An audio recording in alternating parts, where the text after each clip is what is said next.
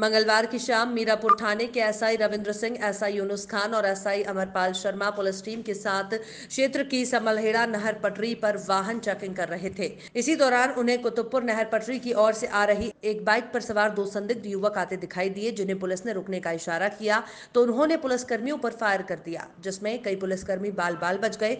वहीं फायर करके बाइक सवार बदमाशों ने बाइक को जटवाड़ा पटरी की ओर दौड़ा दिया, जिस पर पुलिस ने बदमाशों का पीछा करते हुए जवाबी फायरिंग की।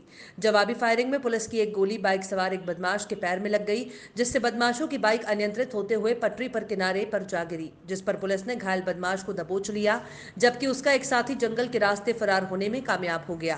पुलिस को पकड़े गए बदमाश के पास से करीब डेढ़ महीने पूर्व कुतुबपुर से चोरी किया गया एक इन्वर्टर, एक तमंचा तीन सौ पंद्रह बोर, एक खोखा कारतूस और दो ज़िंदा कारतूस सहित एक स्प्लेंडर प्लस बाइक बरामद हुई। पुलिस के अनुसार घायल बदमाश ने पुलिस को पूछताछ में अपना नाम जावेद उर्फ़ शोभी पुत्र नफीस निवासी कृष्णापुरी कोतवाली नगर मुजफ्फरनगर बताया। इंस्पेक्टर संतोष त्यागी ने बताया कि गिरफ़्तार बदमाश बेहद ही शातर किस्म का बदमाश है। इसने करीब डेढ़ महीने पूर्व अपने साथियों के साथ मिलकर ग्राम कुतुबपुर निवासी साजिद की दुकान से इन्वर्टर बैटरी चोरी की थी और ये कांधला से गैंगस्टर में वांछित चल रहा है। इसके खिलाफ मुजफ्फरनगर ने थाना मीरापुर सहित और जनपद शामली के विभिन्न थानों पर करीब डेढ़ दर्जन मुकदमे दर्ज है। किस इसका मीरापुर पुलिस द्वारा संबलेड़ा नहर पुल पे जो है चेकिंग की जा रही थी।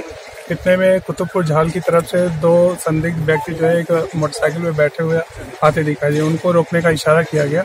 तो उन्होंने जो है जान से मारने के लिए से पुलिस पर फायर कर दिया जिस पर जवाबी कार्रवाई में एक बदमाश घायल हुआ, एक बदमाश फरार हो गया।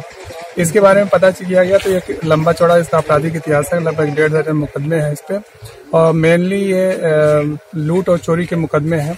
इसके इसके बारे में ये भी पता चला कि कुतुबपुर में एक चोरी हुई थी इन्वर्टर की। वो वो इससे बरामद हुई है। एक मोटरसाइकिल बरामद हुई है चोरी की। दूसरा इससे एक तमंचा बरामद हुआ है और कारतूस बरामद हुआ है। क्या कोई इनाम बता इनाम के बारे में जानकारी की जा रही है।